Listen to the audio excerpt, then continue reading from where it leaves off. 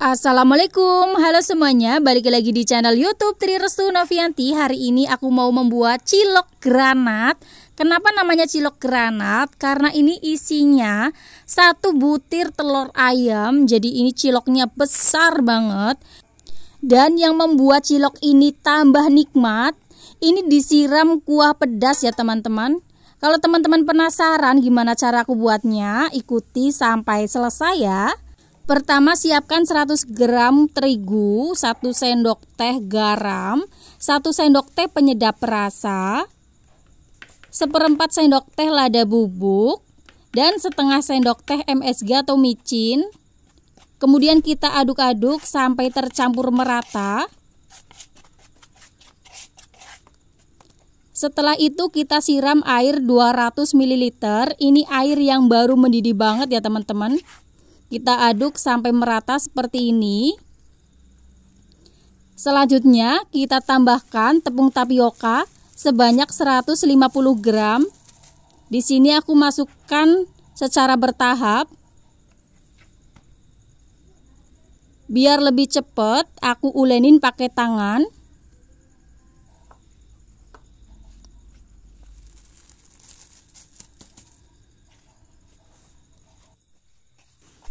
Dan ini adonannya udah kalis ya teman-teman.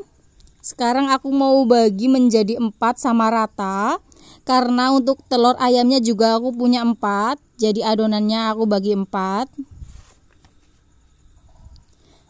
Dibaginya kira-kira aja seperti ini. Kalau ada yang lebih besar, bisa dikurangin dan ditambahkan ke adonan yang lebih kecil.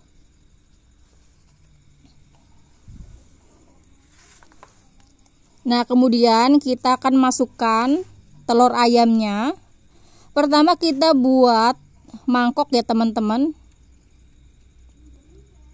Nah, kita bentuk-bentuk mangkok seperti ini.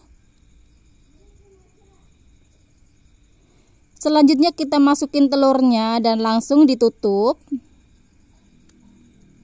Nah, kita bulat-bulatkan.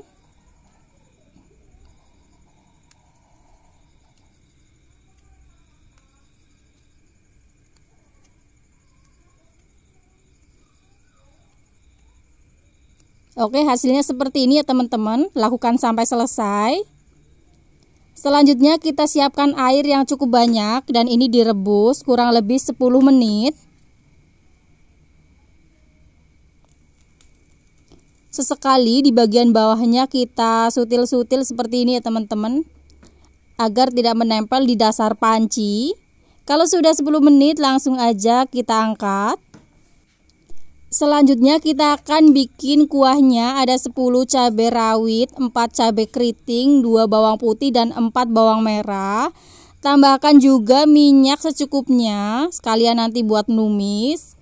Nah, ini sudah halus, kemudian kita langsung tumis. Di sini aku numis di dalam panci aja biar sekalian. Kita tumis sampai harum. Kalau sudah harum, tinggal tambahkan air sebanyak 2 gelas atau setara dengan 400 ml.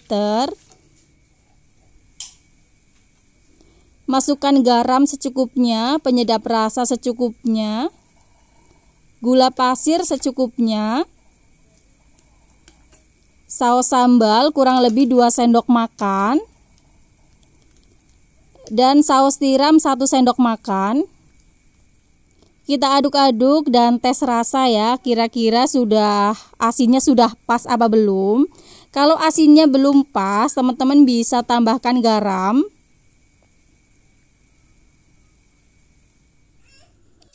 Sekarang kita tinggal siramkan kuah pedasnya. Ini untuk ciloknya udah aku belah ya. Tebelan telur daripada cilok.